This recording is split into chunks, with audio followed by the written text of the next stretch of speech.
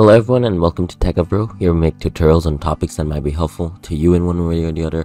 And today I'm going to be showing you guys on how you can delete your Discord account. So first, you want to click on that gear icon right in the bottom corner.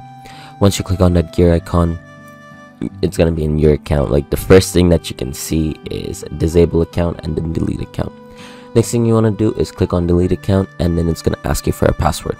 Are you sure?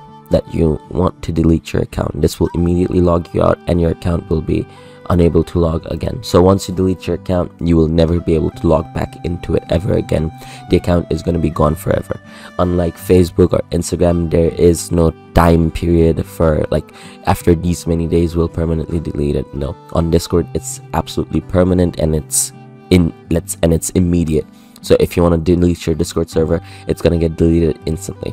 So in order to do that all we want to do is put in our password and then press on delete account and then that's it. My account has been deleted. There's no way of me to ever log back into that account. So i hope you guys found this video helpful. If you did please drop a like and if you want to see more videos like this in the future don't forget to hit that subscribe button as well as that notification bell. Thank you so much for watching. Bye bye